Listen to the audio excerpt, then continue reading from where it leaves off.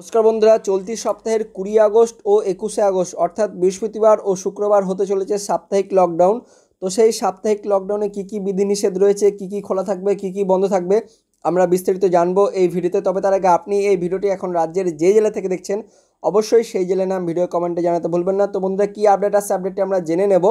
রাজ্যে দিনের পর দিন করোনা আক্রান্তের সংখ্যা বৃদ্ধি ঠেকাতে রাজ্য সরকারের তরফ থেকে গোটা রাজ্যে জুলাই মাসে সপ্তাহে দুদিন করে পূর্ণ লকডাউন করার সিদ্ধান্ত নেওয়া হয়। সেই মতো রাজ্য সরকারের তরফ থেকে ঠিক করে দেওয়া দিনগুলিতে লকডাউন জারি করা হচ্ছে।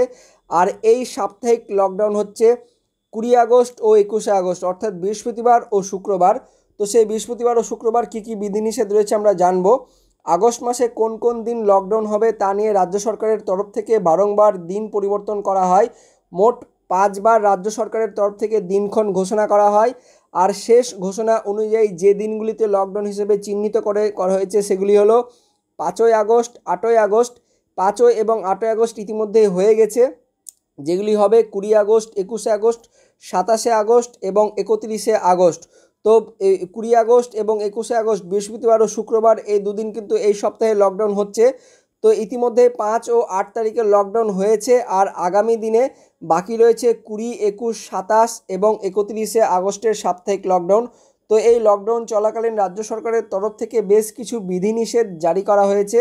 চলুন দেখে নেওয়া যাক সেই সকল বিধিনিষেধের তালিকা। লকডাউনের সময়সীমায় কেবলমাত্র যে সকল ক্ষেত্রে ছাড় দেওয়া হয়েছে, সেগুলো আমরা জেনে নেব প্রথমেই। তো এই সাপ্তাহিক লকডাউন চলাকালীন স্বাস্থ্য সম্পর্কিত সমস্ত রকম পরিষেবা খোলা থাকবে। অর্থাৎ স্বাস্থ্য পরিষেবার সাথে যুক্ত স্বাস্থ্যকর্মীদের যাতায়াতের ক্ষেত্রে এবং যানবাহনের ক্ষেত্রে পূর্ণ স্বাধীনতা রয়েছে।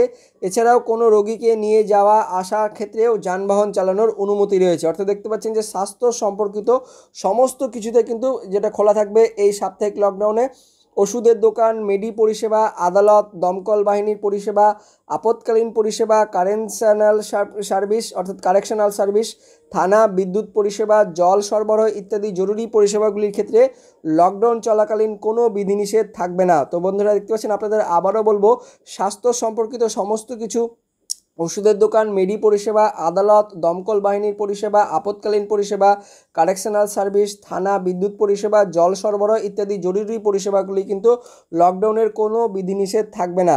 প্রিন্ট, ইলেকট্রনিক মিডিয়া এবং সোশ্যাল মিডিয়ার পরিষেবার ক্ষেত্রেও ছাড় দেওয়া হয়েছে এবং ই কমার্স অর্থাৎ অনলাইন যেগুলো, ফ্লিপকার্ট, অ্যামাজন যেগুলো রয়েছে, সে সমস্ত পরিষেবা কিন্তু ছাড় দেওয়া হয়েছে।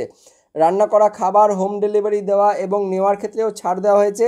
রাজ্যের মধ্যে এবং রাজ্যের বাইরে পণ্য সরবরাহের ক্ষেত্রেও ছাড় দেওয়া হয়েছে।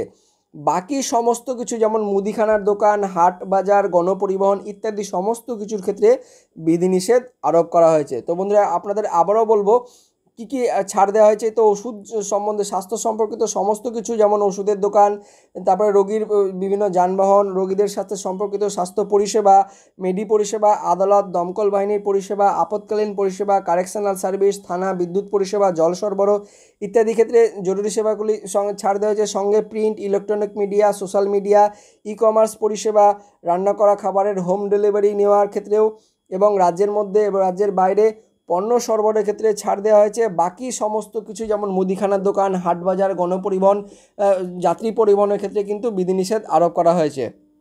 তো বন্ধুরা, এই সমস্ত ক্ষেত্রে কিন্তু বিধিনিষেধ রয়েছে কুড়ি আগস্ট এবং একুশে আগস্টের সাপ্তাহিক লকডাউনে তো এই সমস্ত বিধিনিষেধ চালু থাকছে। তো এই ছিল এই মুহূর্তের আপডেট তো আপডেটটি যদি ভালো লাগতে, অবশ্যই একটা লাইক করবেন, ভিডিওটিকে অনেক অনেক শেয়ার করবেন।